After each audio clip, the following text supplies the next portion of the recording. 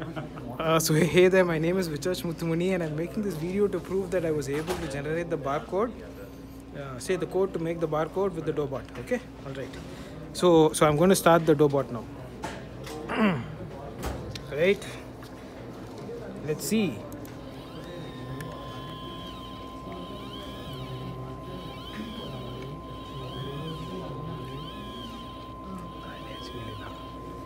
Well, it'll look like a barcode, so that's it.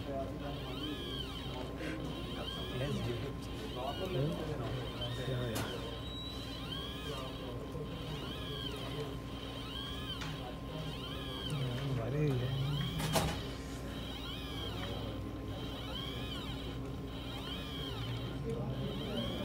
Mm, All right.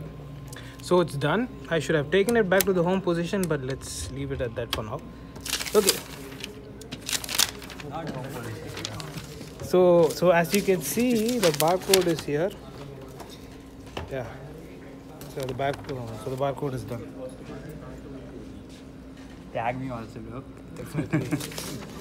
oh, he also helped me do it. This is my teammate.